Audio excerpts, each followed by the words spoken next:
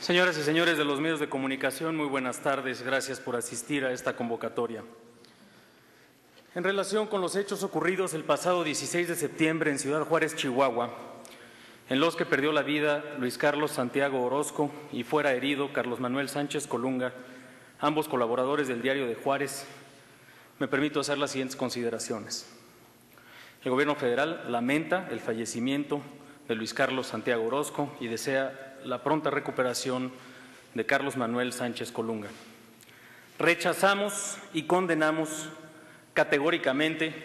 cualquier acto de violencia, en particular los cometidos contra los trabajadores de los medios de comunicación. La libertad de expresión es una garantía indispensable en la vida de las democracias y cualquier agresión criminal en contra de los medios de comunicación debe combatirse como tal, como una afrenta a la sociedad entera y a nuestra democracia. Desde el primer momento en que se tuvo conocimiento de los hechos, la Procuraduría General de la República, por medio de su delegación en la entidad, entró en contacto con las autoridades del Estado de Chihuahua para coadyuvar en las investigaciones. Asimismo, la Secretaría de Gobernación estableció contacto con el director de dicho medio de comunicación con el objetivo de expresar el compromiso del Gobierno federal para, en coordinación con la autoridad estatal, identificar a los agresores y llevarlos ante la justicia. Es oportuno recordar que la Procuraduría de Justicia del Estado de Chihuahua ha señalado en declaraciones públicas que hasta el momento el móvil más probable de esta agresión, en particular, es de índole personal y no por sus actividades profesionales. En todo caso, el Gobierno federal reitera que cada agresión contra periodistas, autoridades de cualquier orden de gobierno o cualquier ciudadano es una agresión que debe ser investigada y castigada. Es también oportuno tener en mente que el contexto en el que se dan estos hechos está marcado por ser un punto geográfico, el caso de Ciudad Juárez, estratégico para el crimen organizado. Por décadas, Juárez ha sido no solo una ruta privilegiada para el tráfico de drogas hacia los Estados Unidos y el tráfico de armas y dinero ilícito desde ese país hacia México, sino también ha tenido un mercado interno creciente por su acelerado desarrollo vinculado al modelo maquilador. Este mercado interno ha generado también oportunidades para el crecimiento en el consumo de los estupefacientes. La complicada situación que vive hoy en día Ciudad Juárez es el resultado no solamente de un fenómeno delictivo que se fue acumulando durante muchos años, expandiendo y diversificando, sino también de una realidad social en donde la población y en especial los jóvenes se han visto vulnerables a la acción de las organizaciones criminales. Por ello, el Gobierno federal, en coordinación con las autoridades locales, ha implementado una estrategia que incluye 160 acciones concretas en materia de seguridad, economía, empleo, educación, salud y desarrollo social, con avances relevantes en todas las líneas de acción. Esto tiene como finalidad la reconstrucción definitiva del tejido social de la localidad, donde actualmente, lamentablemente, Muchas veces se carece del entorno de protección y de oportunidades que hace más factible una vida de desarrollo sano y apegado a la ley.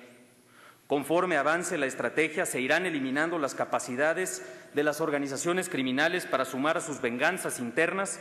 a jóvenes vulnerables al reclutamiento de las pandillas. Aunado a esta estrategia en el ámbito social y ante el crecimiento de la inseguridad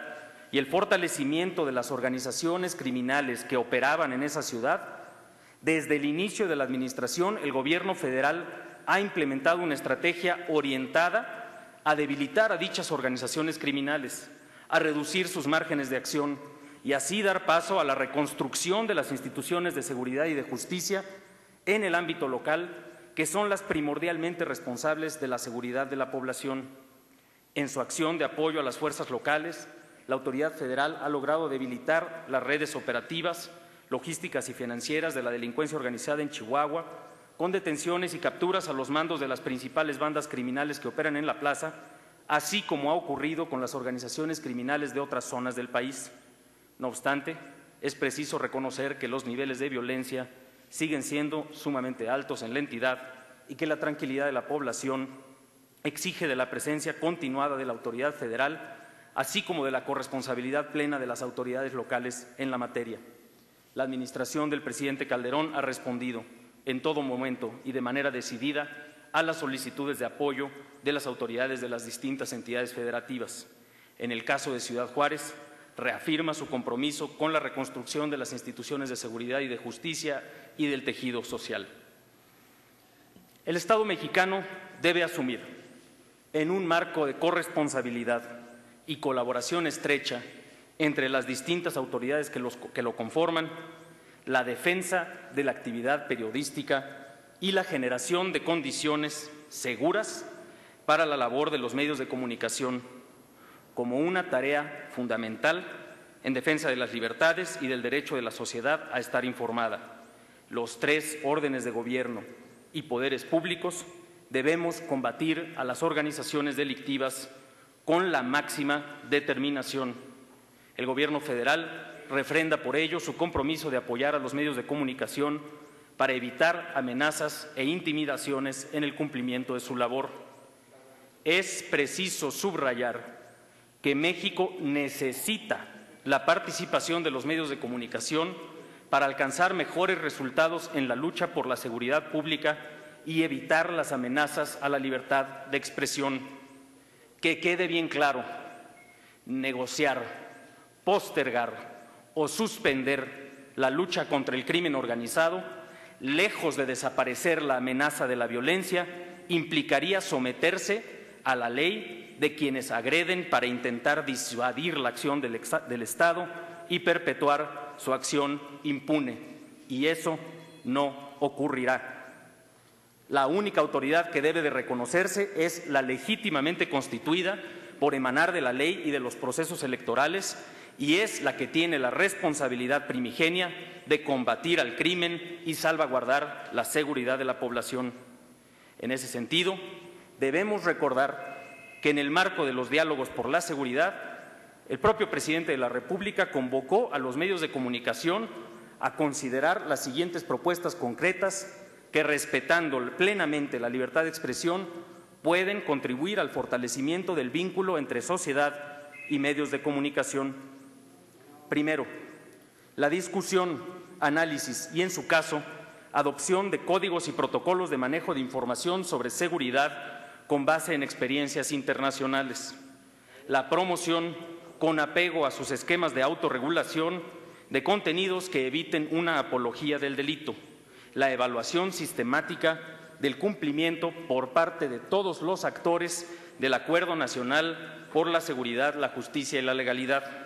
la difusión de campañas para prevenir la violencia y las adicciones, así como para promover una cultura de la legalidad y la denuncia y la apertura de espacios para que la ciudadanía participe directamente en el debate público dirigido al fortalecimiento de la política de seguridad.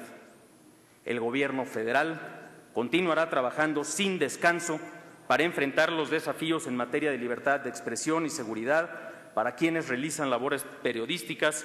en aras de garantizar plenamente estos derechos, componentes esenciales de nuestro sistema democrático.